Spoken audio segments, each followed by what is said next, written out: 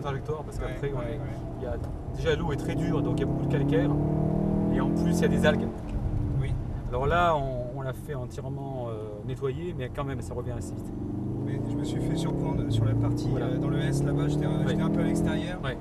Non, non, il faut Euh. vraiment pas sortir de trajectoire parce que sinon, ça, plus on, on s'éloigne et plus ça, glisse. hein. C'est pour ça qu'on a connu la parabolique là. Parce que la parabolique, Oui, si vous la oui. prenez à, à l'extérieur, alors là c'est.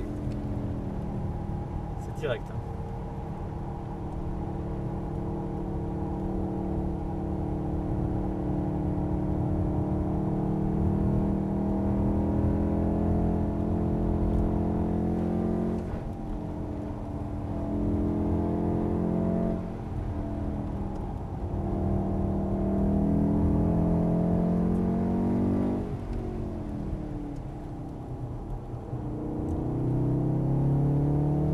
Beaucoup de pistes.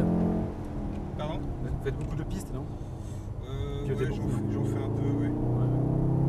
Pas énormément, mais. euh, Mais celle-là, j'avais- je l'ai- ouais, j'en ai fait. Non, mais on voit que vous avez l'habitude de faire de la piste. Voilà, vous roulez vraiment bien.